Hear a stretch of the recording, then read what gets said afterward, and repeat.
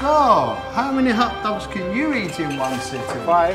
Huh, I can eat six. Last time you went to a gym, when was it? Uh, eight years ago. Me, five years ago.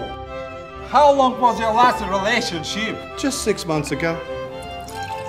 Mine, still in progress. Wow, that looks delicious. of course, you are not